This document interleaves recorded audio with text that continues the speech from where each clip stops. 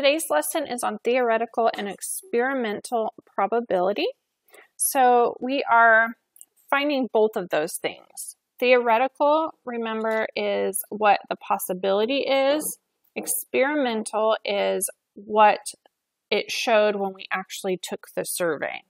Okay, so the table shows the results of a fair number of uh, a fair number cubed rolled 40 times. Find the experimental probability of rolling 4.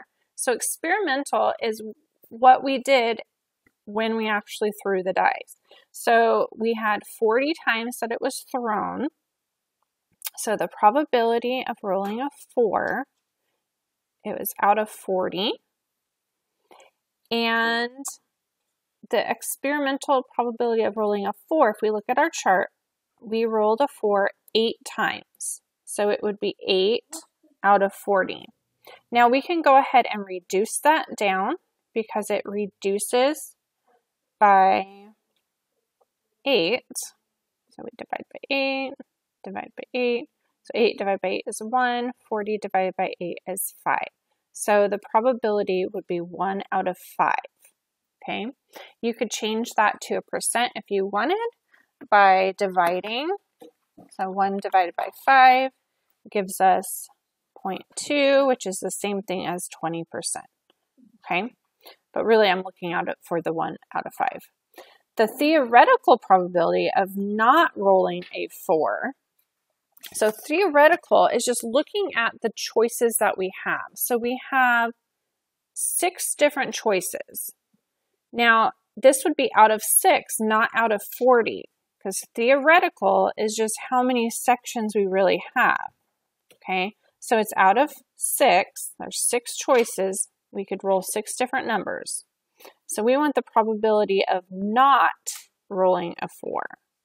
So by not rolling a four, we could roll a one, two, three, five, or six. So that's five different choices out of six that we could roll and not be a four. So that's my theoretical. So be careful when you're doing the rest of the homework. Um, number three says theoretical. Number four says experimental. So experimental, you're using the frequencies given. Theoretical is just using the outcomes that could be. Okay, so continue working through those. Let's go ahead and look at number five because it's a little different. So suppose the number cube was rolled 500 times based on the results in the table. So here's my clue. Based on the results in the table. So I'm going to use my experimental probability about how many times would it land on a 5. Okay, so we need to know what the probability of rolling a 5 is from the table. So the table, we rolled a 5 12 times. And in the table, we knew we know that we rolled 40 times for those um, numbers. So 12 out of 40. We can reduce that down by 4. So 12 divided by 4 gives me 3. 40 divided by 4 gives me 10. So my probability of rolling a 5 based on my experiment is 3 tenths. But now I want to know, what if it was rolled 500 times? So if it was rolled 500 times, what you're going to do is you want to find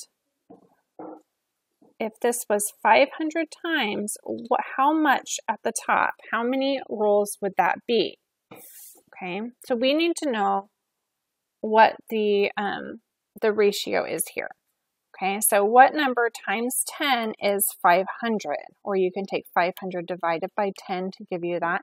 But if we multiply 10 times 50, it's going to give me 500. So if I multiply 3 times 50, it's going to give me my x value. So 3 times 50 is going to give me 150.